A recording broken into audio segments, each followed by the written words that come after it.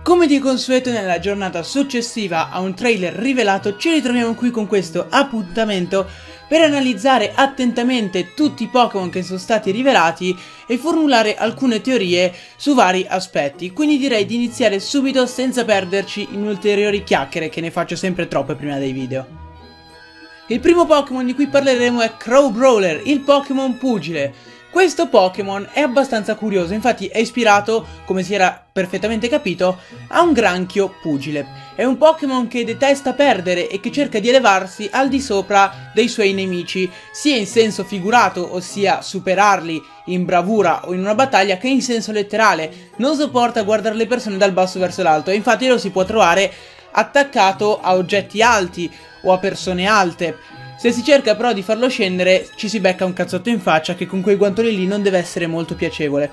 Ma comunque, nonostante la dieta di un pugile dovrebbe essere molto asciutta e molto ristretta, questo Pokémon è molto ghiotto di bacche, infatti prende a pugni gli alberi per farle cadere.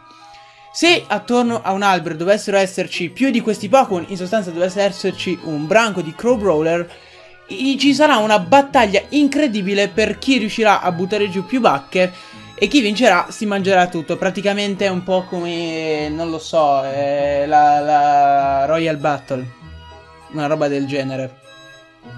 Questo Pokémon nel suo stile di battaglia ricorda appunto un pugile, infatti avanza verso il nemico cautamente proteggendosi con i guantoni e arrivando appresso al nemico inizierà ad attaccare con questi pugni potentissimi che appunto come abbiamo visto prima possono tranquillamente buttare giù un albero. Ogni tanto però mentre combatte succede che gli si staccano le chele che a quanto pare sono davvero buone per la popolazione di Alola, da mangiare si intende. E praticamente questo Pokémon qua è la rappresentazione vivente del detto restare con le mani in mano. Già.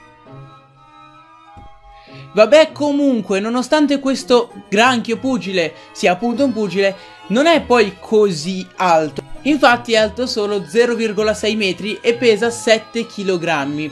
Quindi, a giudicare da questi dati, si evolverà quasi sicuramente secondo me. Come abilità presenta Ipertaglio e Ferropugno. Ferropugno sarà quella più interessante perché verosimilmente questo Pokémon conoscerà Gelo Pugno, Tuono Pugno, Pugno Rapido, Fuoco Pugno, Zuffa e quindi Ferropugno potenziando queste mosse potrebbe essere molto interessante per il competitivo. E passiamo adesso a Sandygast. Ora, signori miei, io questo Pokémon continuo a non apprezzarlo dal punto di vista estetico, ma ragazzi, il concept. Io sono molto combattuto in questo momento perché ha un concept stupendo, una storia bellissima.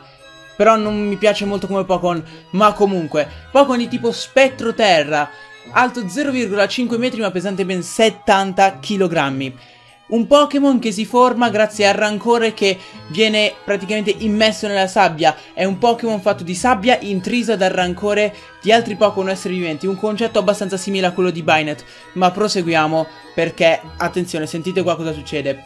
Qualsiasi persona afferra la sua paletta subirà una sorta di controllo, verrà presa sotto il controllo di questo Pokémon che utilizzerà questo suo potere per accrescere la sua forma costringendo per lo più bambini a portare sabbia nei pressi di se stesso per così aumentare il suo volume. In ogni caso se questo Pokémon dovesse perdere la sua beneamata palletta non si darà pace e comincerà a vagare in giro alla sua ricerca utilizzando al posto della paletta un'altra cosa come un ramo d'albero o una bandiera o qualsiasi altro oggetto di forma, diciamo, diciamo, allungata, ecco, sì. In ogni caso questa non è l'unica peculiarità di questo Pokémon, infatti è in grado di assorbire l'energia vitale di qualsiasi essere vivente attraverso la bocca che forma quel tunnel che vediamo. Ad Alola, a quanto pare, inserire questa mano nella sua bocca è una sorta di prova di coraggio, praticamente è la bocca della verità dei Pokémon. In ogni caso la cosa ancora più interessante di questo Pokémon che di cose interessanti ne ha tantissime è l'abilità Hydro Reinforce, ne abbiamo già parlato, un'abilità che aumenta la difesa di 2 gradi quando questo Pokémon viene colpito da una mossa di tipo acqua. Ripeto, una mossa interessante perché immaginatevi ad esempio a fare gli switch con questo Pokémon. Hai un Pokémon di fuoco in campo, l'avversario ti usa una mossa di acqua, tu switch su questo cosa qua e questo cosa qua basta, diventa un tank impressionante. Una cosa assurda e potrebbe essere davvero interessante per un competitive. Ma passiamo subito a Palosand, l'evoluzione. Evoluzione che è un po' più alta, è alta 1,3 m e pesa 250 kg, è una roba impressionante.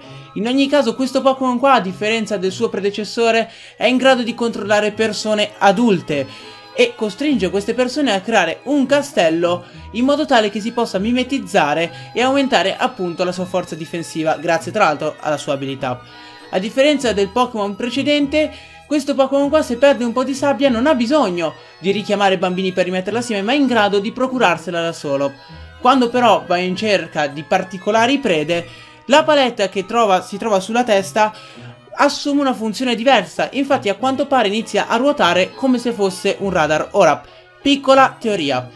Questo Pokémon ci è stato detto, almeno nella forma precedente, che accumula sabbia per creare questo.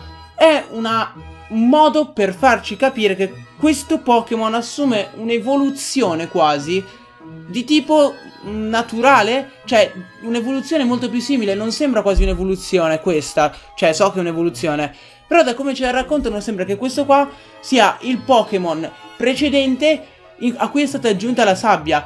E potrebbe essere qualcosa di carino perché metti caso che questo Pokémon qua si evolve dandogli come strumento per dire la sabbia soffice. Sarebbe una cosa carina anche perché la sabbia soffice non la usa nessuno. Ma comunque un altro strumento ipotetico che lo possa evolvere. Una pietra, qualcosa del genere. Forse non ha un'evoluzione solo tramite livello ma piuttosto appunto gli si deve assegnare uno strumento o qualcosa del genere. Sarebbe una cosa interessante da vedere effettivamente. Ed infine andiamo a parlare di Stuful, il Pokémon bizzoso che non so neanche cosa voglia dire in italiano, alto 0,5 metri e pesante 6 kg 8. Abilità morbidone di cui non sappiamo ancora l'utilità e impaccio. Ci hanno detto che questo Pokémon è adorato da tutti dato che è molto grazioso, anche se a me fa cagare come al resto della community, quindi dubito che qualcuno adori seriamente questo Pokémon.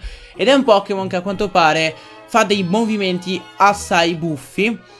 Però, nonostante sia piccolo, ci hanno detto che è un Pokémon che nasconde in sé una forza davvero straordinaria.